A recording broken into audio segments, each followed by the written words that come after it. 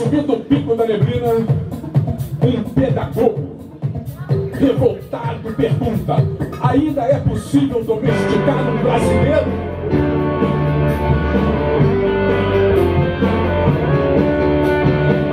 E ele diz: fiz parte do projeto Kong. Dediquei toda a minha vida a melhorar o sistema de ensino, do pré-primário até a pós-graduação. Mas em 50 anos, não andou dois centímetros. Me diga, Senhor, aqui no pico da neblina, me diga. Where have all the good times gone? Where have all the good times gone? Para onde? Foram os tempos para os quais eu fui forjado. Eu fui na trincheira. Eu fui nas selvas ribeirinhas. Eu fui nas periferias levar a boa nova do humanismo, do ensino. Mas em 50 anos andou dois centímetros. E agora eu sou um pedagogo fantasma. Me diga, Senhor, where have all times?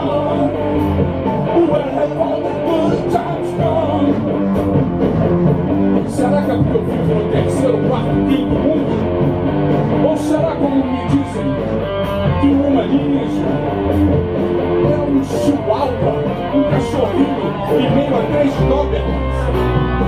A pré-história, a religião radical e a tecnologia voraz. Será isso? Me diga, Senhor. Where have all the good times gone? Where have all the good times gone?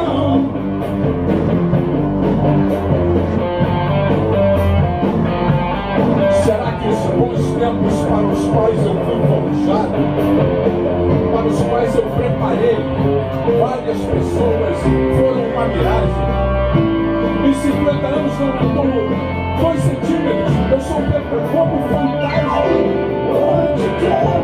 Senhor, where have all the good times gone? Where have all the good times gone? Where